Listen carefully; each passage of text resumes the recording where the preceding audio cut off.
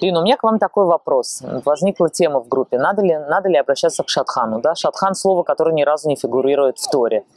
Хотя у нас есть э, такой персонаж, как Элезер, которого Авраам посылает найти шедух для своего сына, найти пару, и он находит Ривку.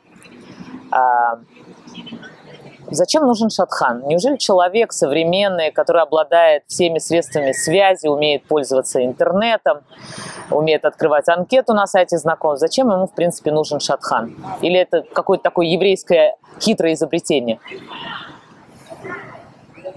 Э, начнем с того, что роль шатхана э, в еврейской традиции, она очень интересная. Шатхан – это первые буквы предложения Шекер дибер, кесер наталь. То есть обычно шатхан – это человек, который говорит неправду и берет за это деньги. То есть на самом деле мы можем говорить о том, что шатхан – это э, пиар-агент.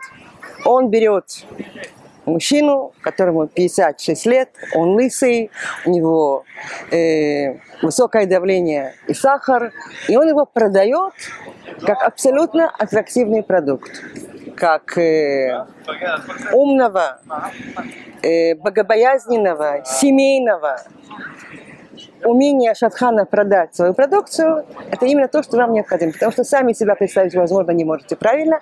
Шатхан это будет делать вместо вас.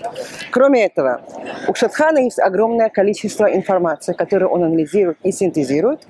Он находит максимально подходящее к вашим требованиям э, молодых людей, и необходимость обращаться к Шатхану обусловлена тем, у него просто есть доступ к информации, он в состоянии получить информацию, которой вам доступа нет.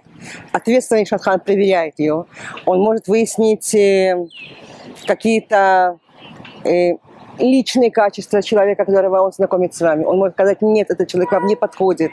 Я говорю конкретно о определенных типах шатхана, таких, допустим, как Тимире. Теперь э, я могу сказать, что по тому, как, я, сколько мы знакомы, то, с какой ответственностью личной ты относишься к вопросу выбора пары, к тех, кто к тебе обращается, честно говоря, сложно найти себе мое... Это не потому, что мы знакомы. Более серьезного шатхана я не могу себе представить. Серьезного, ответственного и эмоционально вовлеченного. Теперь, в чем заключается работа Шатхана? Шатхан собирает информацию, он ее предоставляет вам, вы уже сами решаете, вам нравится претендент или нет. Вы это решаете после встречи. Шатхан не обязан брать себя, на себя ответственность за ваше решение. Он дает вам техническую информацию, что с ней делать, вы решаете сами.